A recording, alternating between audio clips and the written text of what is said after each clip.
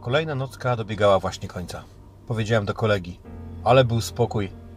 I wtedy dostałem lekcję, żeby nigdy tak nie mówić przed końcem służby.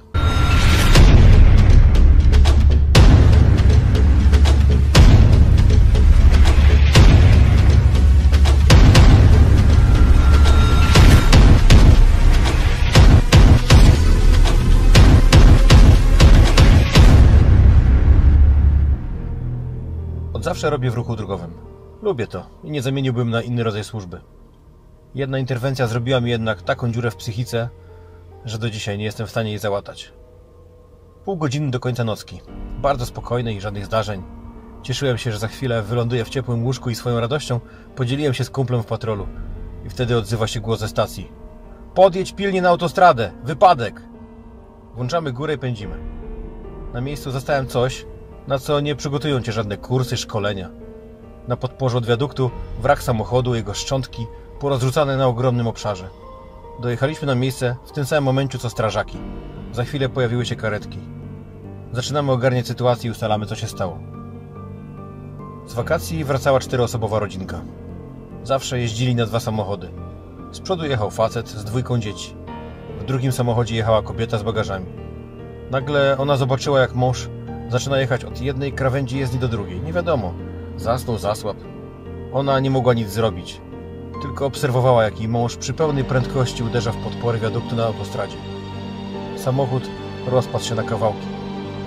Ze środka wypadły dzieci i mąż. Starsza córka to jakiś cud. Przeżyła, miała jedynie otarcia na skórkach. Młodsza to jej stroną samochód uderzył w ścianę. Nie miała żadnych szans na przeżycie. A mąż? Tego się nie dowiemy. Nie dowiemy się, czy przeżył uderzenie, bo po tym jak wypadł na autostradę, jadąca drugim samochodem żona wjechała w niego i zrobiła z niego krwawą plamę. Będąc tam na miejscu, działałem jak w transie. Nie wiem, jak to możliwe, ale wyłączyłem uczucia. Działałem według schematów, procedur, wiecie, protokoły zdjęcia, pomiary. Pamiętam też takie dziwne uczucie, jak, jakbym nie słyszał żadnych dźwięków. Czułem się trochę jak w niemym filmie. Nagle widzę, jak kobieta podchodzi do tej martwej córki leżącej na asfalcie. Podnosi ją. Dziewczynka musiała mieć bardzo duże obrażenia wewnętrzne. Jej ciało było takie całkowicie wiotkie. Przelewała się przez ręce matki. Matka zaczęła potrząsać martwym dzieckiem, jakby chciała je obudzić i wtedy malutka główka oderwała się i spadła na jezdnię. Moją tą taką dziwną ciszę przerwał krzyk rozpaczy kobiety. Przeszywający, nieludzko brzmiący skowyt kogoś, kto właśnie uczestniczy w koszmarze.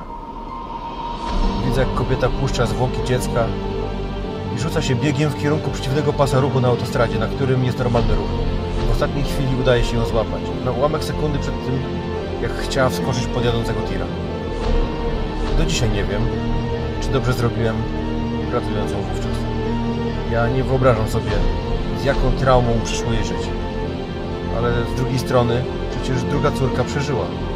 Być może ona pozwoliła matce odnaleźć jakąś cząstkę sensu istnienia. Gdy nakładam na ciebie mandat, często słyszę wypowiadane ze złością słowa. O, biała czapka, ludzki dramat. Powiem ci, gówno wiesz o dramacie.